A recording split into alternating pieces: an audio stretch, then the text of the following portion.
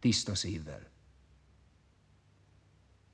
Nincsen apám, se anyám, se Istenem, se hazám, se bölcsőm, se szemfedőm, se csókom, se szeretőm. Harmadnapja nem eszek, se sokat, se keveset. Húsz esztendőm hatalom, húsz esztendőm eladom.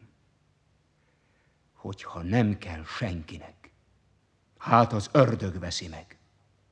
Tiszta szívvel betörök, ha kell, embert is ölök. Elfognak és felkötnek. Áldott földdel elfödnek, s halált hozó fűterem, gyönyörű szép szívemet.